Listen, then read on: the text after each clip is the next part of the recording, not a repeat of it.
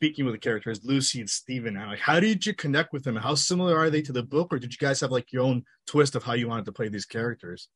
Definitely different from the the book. I mean, there's there's a blueprint in there for sure. Yes. But we we brought the uh, three dimensional version.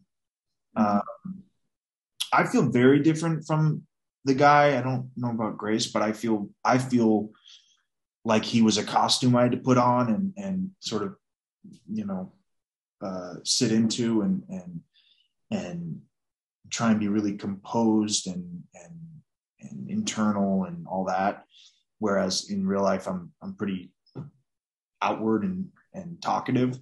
Um, that was the biggest difference for me. But I had so much fun playing that.